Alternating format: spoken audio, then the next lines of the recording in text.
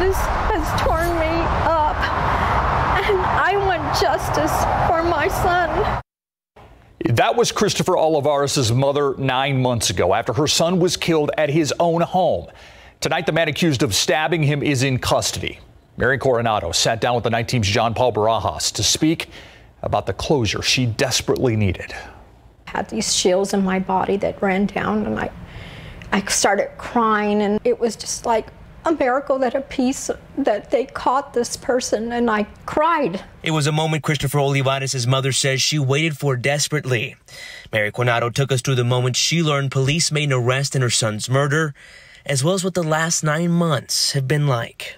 Crying every day in the shower, trying to make myself strong, was suffering in me.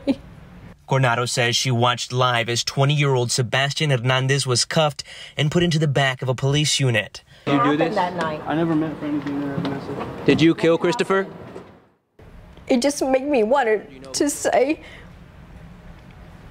what give you the right to take some, my son's life away? According to police, Hernandez stabbed Olivarez, stole his car, and set it on fire out in Guadalupe County. He was also seen on Olivarez' doorbell camera before and again on the night of the murder. Hernandez' murder charge carries the possibility of a life sentence.